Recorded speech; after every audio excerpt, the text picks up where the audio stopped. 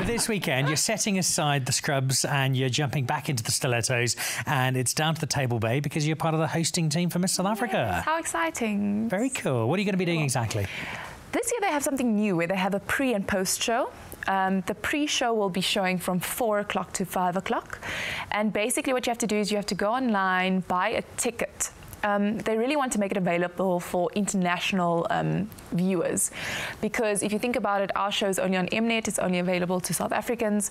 They now want to make it available to everyone. So you can go on, buy this ticket, and basically the pre show is going to be me asking all the girls questions behind the scenes, all the things that I felt and no one ever asked me, I'm hoping to ask them. And I'm hoping, you know, I want it to be as real as possible because it's, you mentioned when you won, you thought of, I don't know, the Samantha, the one that got the mm. bronze. Mm.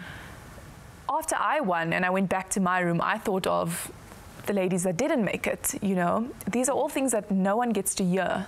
Um, so I really want to, I want to get into everyone's little bubble mm-hmm. and you'll be seeing that at the pre-show. And then the post-show, I'll be interviewing the newly crowned Miss South Africa.